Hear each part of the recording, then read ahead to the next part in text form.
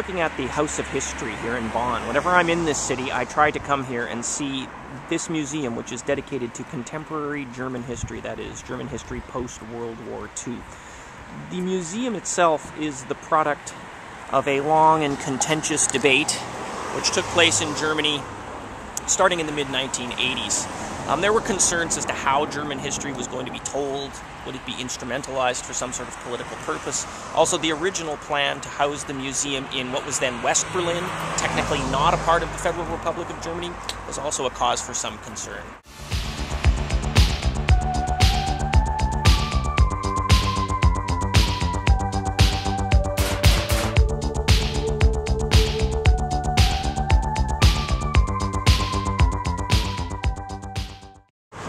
When momentum on the project stalled for a variety of reasons, then Chancellor Helmut Kohl took the project under his wing, and the decision was made to move the museum site from West Berlin to here in Bonn.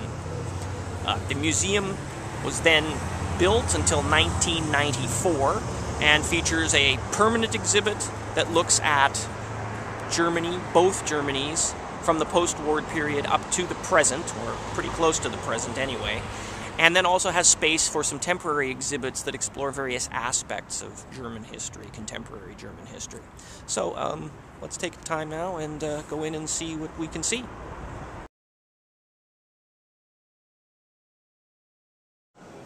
Any fears that the exhibit would soft pedal the immediate post war period or indeed Germans' involvement in the Nazi crimes uh, are pretty much put to rest by the exhibit, I have to say. They do a very good job of examining the, the post-war period and the deprivations, but also the the crimes.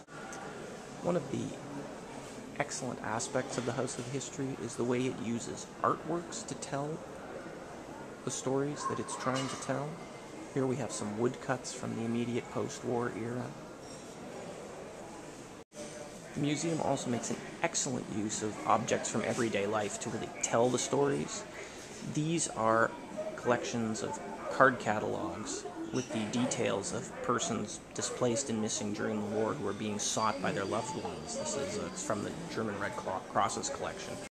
Excellent example of the way this museum makes history living and real is uh, right here. This is a one of the little train cars that would have been used to clear rubble from the German cities. So you have the car itself, then you have a it filled with rubble and inside a film screen with images, films from the time. Some of them are truly remarkable here.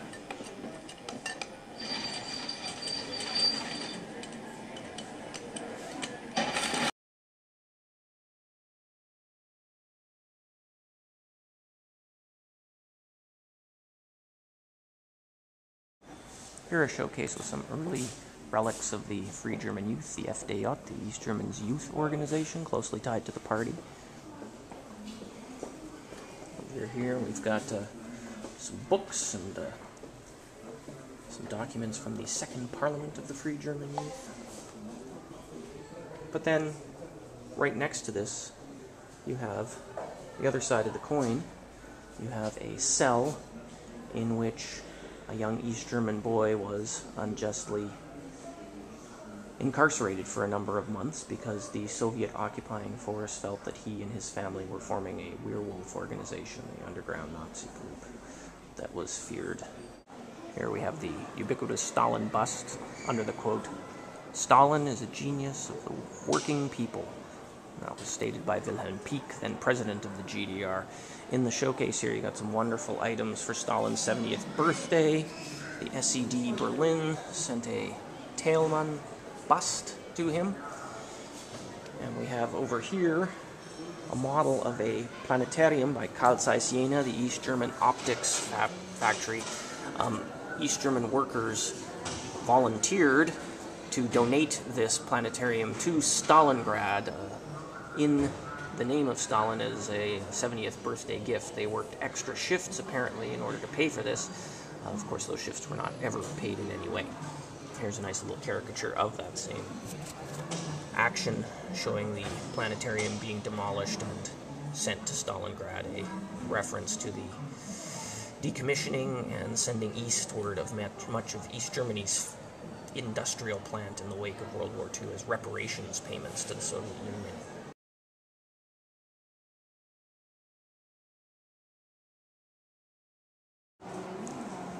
Here we have the uh, pictures, images of the destruction of the Hohenzollern Schloss, the castle, city castle in Berlin, by the communists. Uh, it made way ultimately for the Palace of the Republic, the East German parliament in the 70s, but for a long time simply stood empty.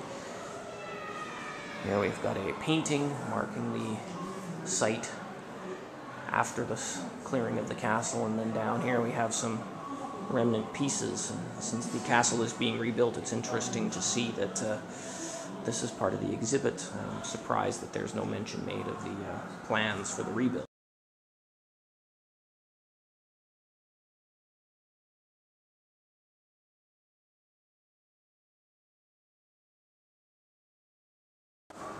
Here, the section on the uprising of June 1953 with a partial Soviet tank one thing to come around the corner here and be confronted with this. It's a little bit eerie. And then film clips, newspaper reports, and whatnot from the time.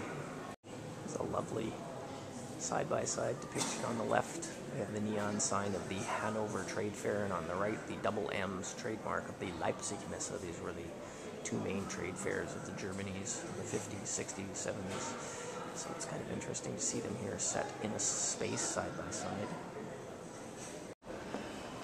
hooked rug with East Germany's first president Wilhelm Pieck on it.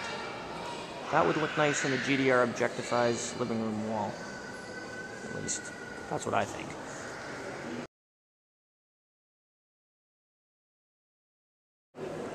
Here, a painted glass window with the motif of a striding Lenin. And below it, the sign from the Berlin S-Bahn, commuter train that was largely saw its network cut with the building of the Berlin Wall. Here, the map from the East German Ministry of Transportation showing exactly which S-Bahn lines were to be cut on the 13th of August 1961. Here's a video showing an escape across the Canal of East Berlin.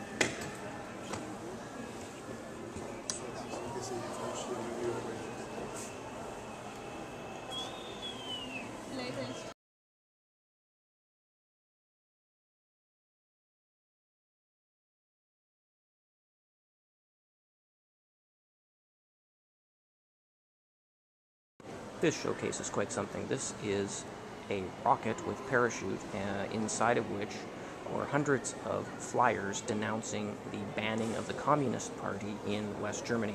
These would have been shot from the East German territory into the West and uh, clearly intended for propaganda purposes. Hard to imagine it having a whole lot of effect, but there you go. There's a lovely section here on the emergence of music in popular culture in East Germany in the late 50s, early 60s. Pop music from the West was obviously seen as taboo, something decadent, and so the forms of, of jazz and German folk were reappropriated by a number of different artists. Uh, one of the most prominent of these was a Canadian, Perry Friedman. I wrote about him in one of my first posts, and I have to say, I am so thrilled to see Perry present here in the House of History. This is a record brought out by the East German label Amiga, um, featuring Perry on the front there with his banjo, Hootenanny 2 by Perry Friedman. It's uh, nice to see a Canadian get a little bit of a nod here at the House of History in Bonn. My body lies over the ocean. My body lies over the sea. My body lies over the ocean. Oh, bring back my Bonnie to me.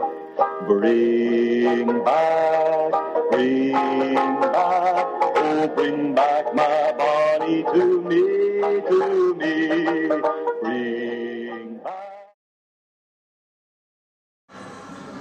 This is a original control booth as would have been found in East Berlin's Friedrichstrasse. Here on the sign it says entry for citizens of the Federal Republic of Germany, Berlin West, East Germany, and other states. You would wait here until you were signaled to enter into the booth. Once in, the door would close behind you, and you would find yourself face to face not with a shirt, but with a human wearing that shirt, who would ask for your pass and possibly get you to fill out any number of forms. You would change the minimum 25 marks, and you would wait until you heard that sound, which meant you were free to go. They would stamp your pass, give it back to you, and you would exit out into not a granite floored exhibit hall, but the wonderful world of East Berlin. This section of the exhibit is dedicated to looking at the connections between the East German Stasi, their secret police, and the Red Army faction, a terrorist group, left ultra-left terrorist group that operated in the 1970s in West Germany, committing a number of political murders and other acts of terrorism. After the uh, Wende in 1989, files came to light that showed that a number of RAF members had found refuge in East Germany. Some had been trained there in explosives and other techniques. Um, this documents part of that history, showing the Stasi file and some of the explosives in which they would have been trained. It's eerie looking at this stuff, I have to tell you. Of all the things that I've seen here in the House of History, I have to say this one really sent a shiver down my spine. This is a an original poster by a member of the RAF uh, hung at her university in Munich. It says, "We are for political murder, and we're going to start doing it soon." Uh, we know that that was no idle threat. This is an excellent section on the role of the church as the home of the free thinking environmental movement in the East and the peace movement we have in this showcase. Some really interesting objects. First, a bust of the sculpture Swords into Plowshares, which was created by a Soviet artist and placed in front of the UN and then a reproduction of this image on a crest that was adopted by the East German peace movement.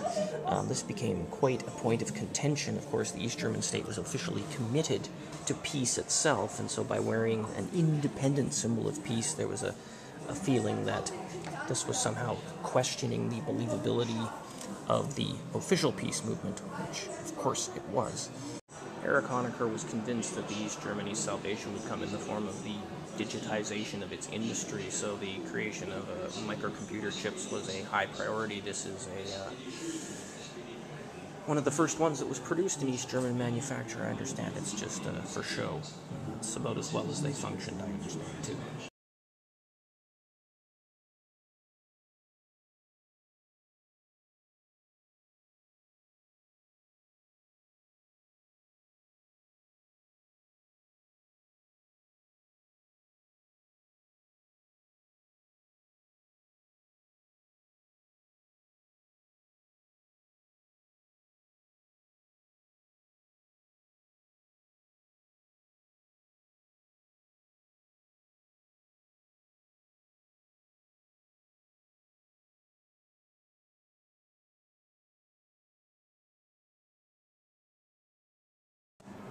Another gallery that leaves an impression. This is uh, one that looks at the, the weight of the past and particularly neo-Nazi activities since unification. There have been obviously many attacks on individuals by neo-Nazi groups since German reunification. Here we have a showcase with the trademark Doc Martens and the white laces worn by many white supremacists and the baseball bats that they used to attack some of their victims.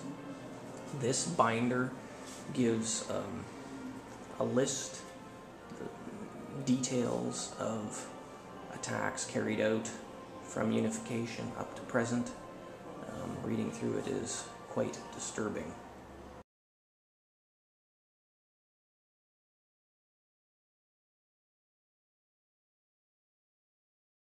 So I guess I wanted to reflect for a minute on my experience at the House of History and, and what I made of that whole exhibit, the temporary and the, the permanent exhibit. In terms of the permanent exhibit, I mean, I have to say that I think it's really exemplary the work that they do there. And looking at at the collection and the way it's presented, I think that uh, in some ways I was probably influenced by it in the way I've approached my blog. The the emphasis on a broad understanding of history, not just the political or economic, but also the cultural and the everyday life aspect, and using real objects um, from everyday life. That's something that obviously I picked up on, and so I probably, in retrospect, figure that's where I was inspired to do it.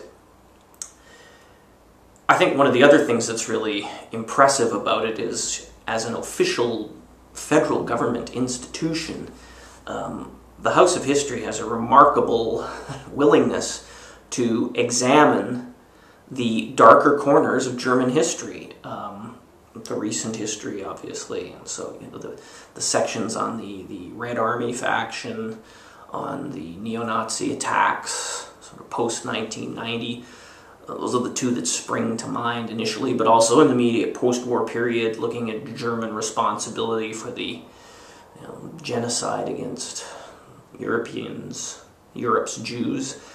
I, you know, it's really exemplary what they've done with that. So, you know, I have to say that that, that is something that uh, I find really laudable. You know, what's missing? Well, you know, I have to really rack my brain. One of the things that I did notice this time and was a little bit disappointed on a previous visit when I was there, I, uh, I picked up this souvenir. So it's a small aluminum business card case, and uh, it has House of History der Bundesrepublik Deutschland etched into it along with my name.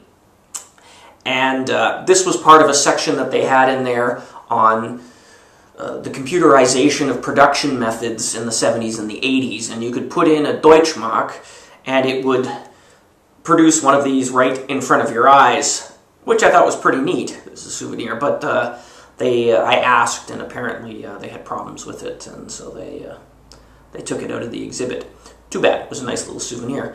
But other than that, I mean, when I think back on the temporary exhibit now, I, you know, the one on the USA and Germany, I guess the only thing that uh, I think might be missing there is uh, Angela Merkel's cell telephone, and I imagine that one of the curators is probably on that right now. Well, thank you for watching. This, what I hope will be the first of many GDR objectified field trips. It's my last day in Bonn. I'm heading off to the train station to make my way out of town, but it's certainly been interesting for me at least, uh, searching for traces of the GDR in this, the former West German capital. Thank you for watching, and uh, stay tuned. Auf Wiedersehen.